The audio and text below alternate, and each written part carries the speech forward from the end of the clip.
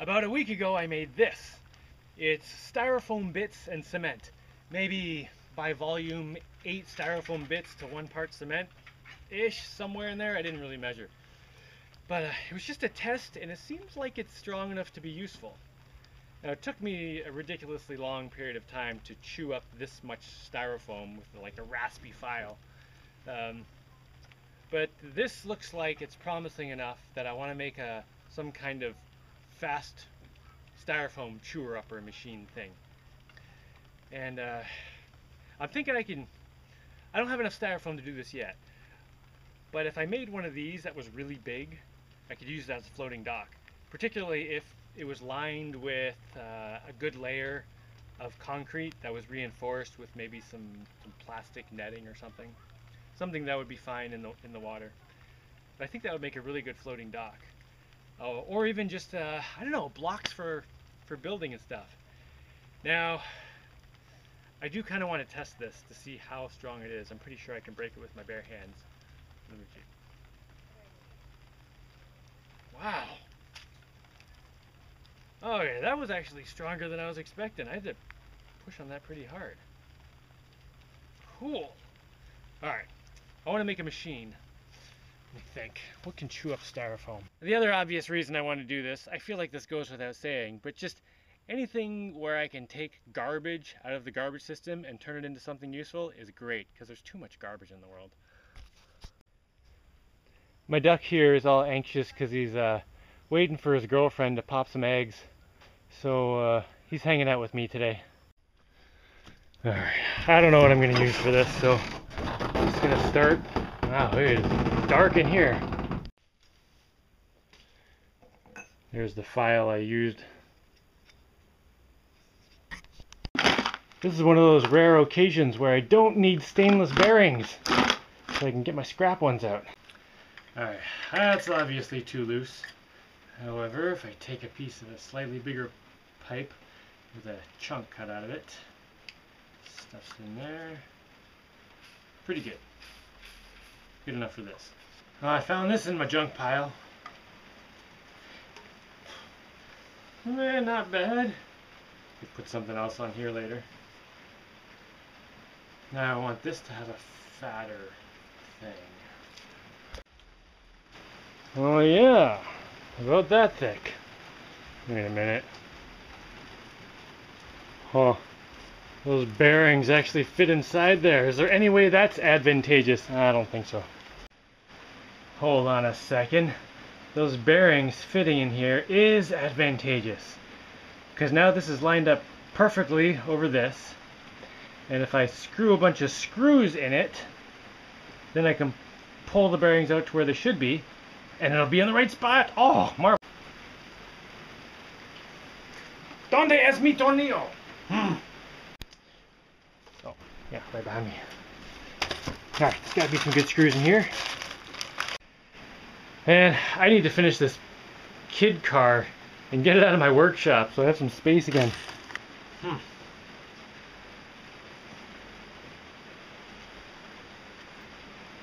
I'm a little bit short on these screws now because about a week ago some guys came by and said our propeller is slipping and we need to get home and they were about an hour away from home so I used a bunch of these screws to fix the propeller temporarily long enough for them to get home at least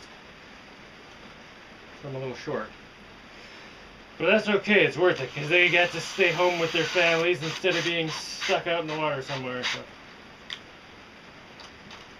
Totally worth it. Alright, I got three of those. Hopefully those are going into the middle piece. And if I pull this bearing out, it should stay. Come on, bearing. Oh, it's hard to get a grip. Get a grip, son! A guard! Here's my... Oh, I gotta put it in the vise.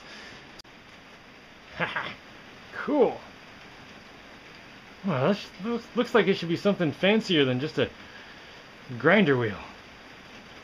Alright, put a bunch more screws in there.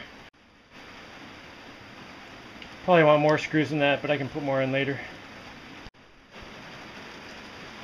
Alright, now where does this go?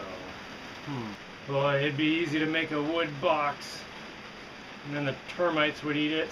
Well, I can make a wood lid for a bucket. I think I can keep that out of termite zone. Oh man. It's pouring rain outside, so I can't get any wood from outside. What have I got in here? Well, there's this piece of wood I've got all this stuff on. Oh, wait a minute! Right there. That might be big enough. And now the question remains. If I'd known I was going to need those screws so soon, would I have still helped the guys in the boat? I hope so.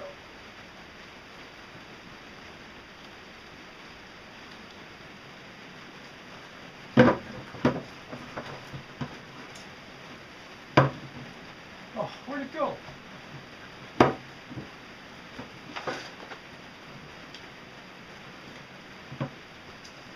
Okay, now?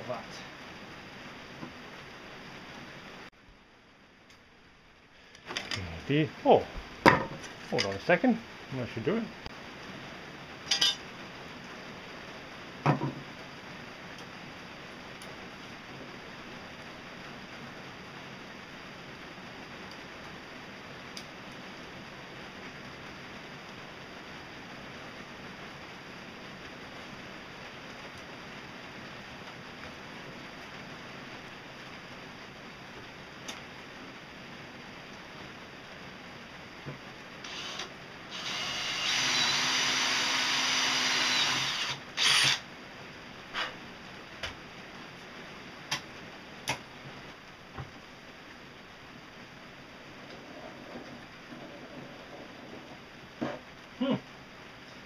This works really well, I can pop this off and put a drill on there.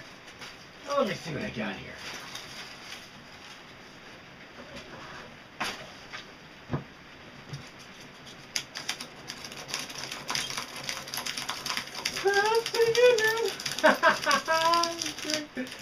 Oh, I think the end piece might have gone in a little big. Hmm. Well, those are a little bit bigger than I want. So maybe I should unscrew this piece of wood, slide it closer in, screw it back in. Just reduce that gap. Alright, I shrunk the gap on this side and left that one the same. That way I can do big chunks here, little chunks here. I think.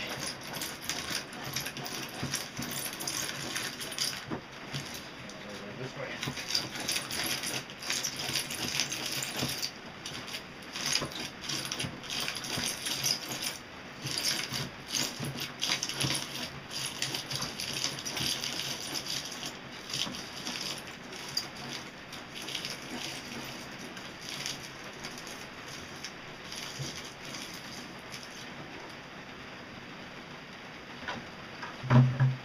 Oh, that looks a little better. Yeah. A few little bit bigger pieces, but I think that's alright. What I think I might be able to do here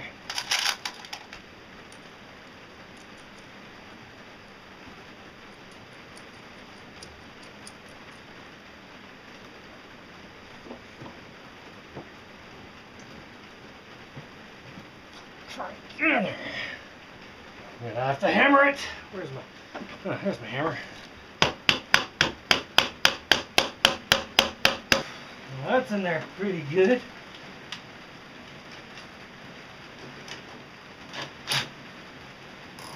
No, maybe we don't need to go full speed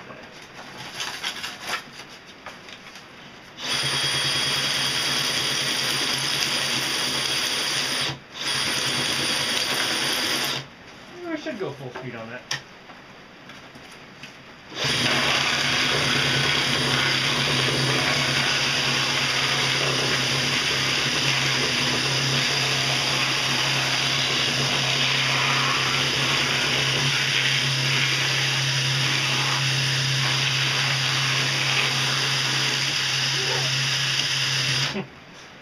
Wow.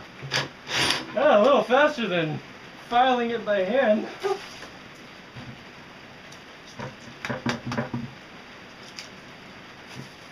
chews it up pretty fine too. Huh. I'm gonna have to do something about the the uh, incidental mess. Maybe I'll build a little thing around this. Or you know what? Maybe I'll just get it off the floor when I'm done. Just sweep it up and put it. That's not that hard to do.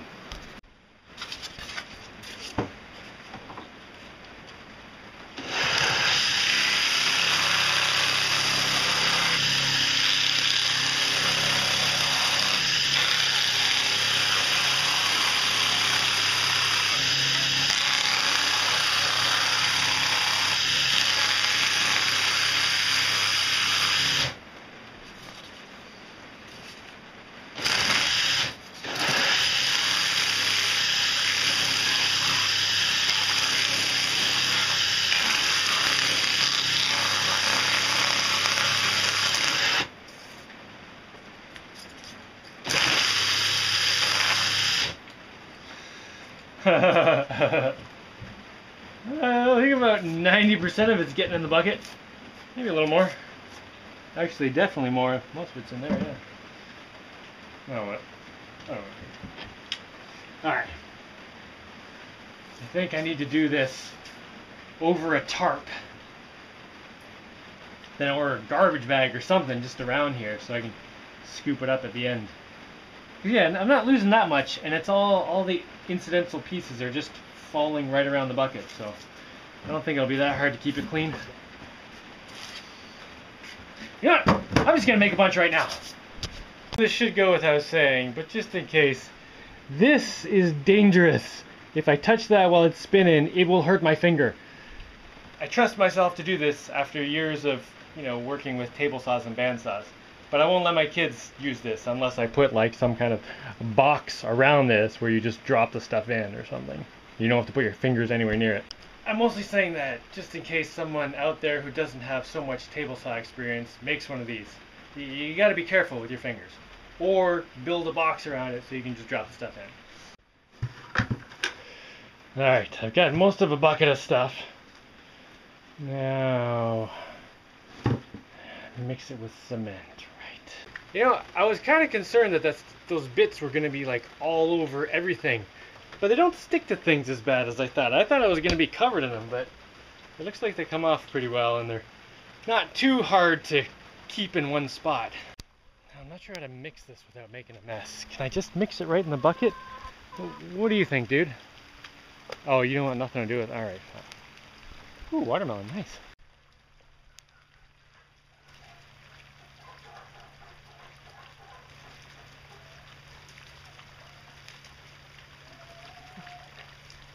I think he's demonstrating how to mix the stuff. If I just do that. I'm not sure if that's going to work, Doc. I got some cement in here now. I think it's about one part cement for six or seven parts styrofoam bits-ish. Somewhere around there. I didn't really measure. Alright, I need to get some water. I wanted to mix it up first so that I didn't end up with cement clumps. Because once it's wet, it'll clump together. I don't know what I am doing.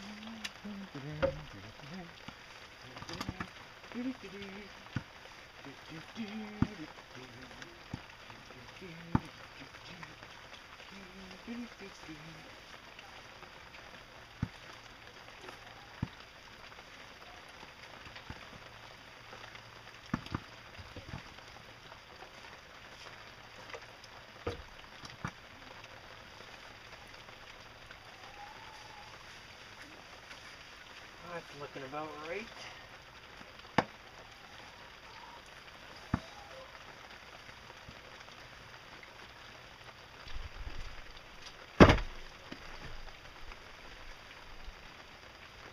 Huh.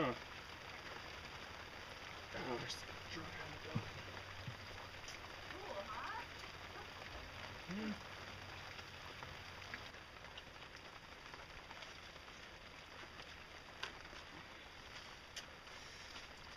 Later. So maybe I can find a huge amount of styrofoam, which shouldn't be that hard, because I know there's tons of it around. And then I can make like a little area that has a tarp that'll kind of contain any bits. And then I can make some big styrofoam stuff. Oh, and why don't I just use uh, foam concrete? Oh, I wouldn't trust that to float for something like a floating dock. Also, I have not yet made a foamer. That's a whole separate project. And scrambly. You want some?